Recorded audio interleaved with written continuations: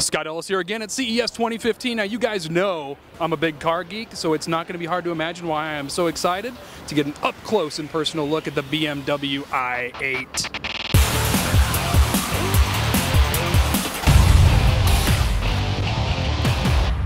Okay guys, we are sitting inside the cockpit of the new BMW i8. This is a gas electric hybrid and I gotta tell you, this is one of the sexiest cars I have seen in a long time. It has absolutely beautiful lines, and it has two motors. It has an electric motor and a gas-powered motor.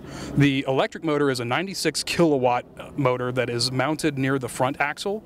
The gas-powered motor is actually a three-cylinder turbocharged engine that sits in the back of the car. When you combine those two engines, you get an automobile with 357 horsepower, but the acceleration of an electric vehicle, which means this car will rocket from 0 to 60 in about 3.8 seconds. So we are definitely well into sports car territory, not to mention how awesome this thing just looks. Now, the uh, engine will give you, if you want just to go on pure electric, will give you about a 20 mile range.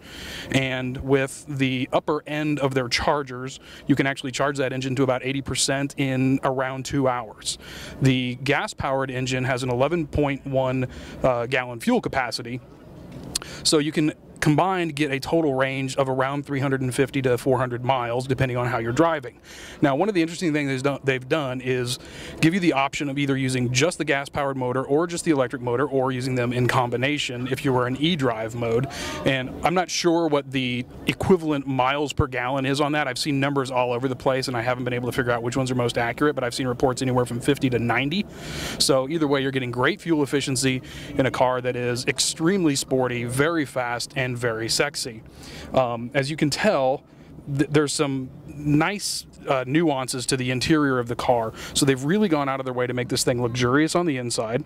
Um, it does have the iDrive system uh, for controlling things that we've seen in BMWs before, but they've also done some things to make the car a little bit more sustainable. So the plastics that are a part of the car are actually recycled uh, plastics that they've used so that you get um, this nice eco-friendly automobile without really giving up any of the luxury and, and things that you would want in a car of this range. Now, Unfortunately, this car is going to retail for around starting at $135,000. So this won't be for everybody, but you know, maybe I'll see if they can give us a review unit for a while and we'll take it out for a little cruise.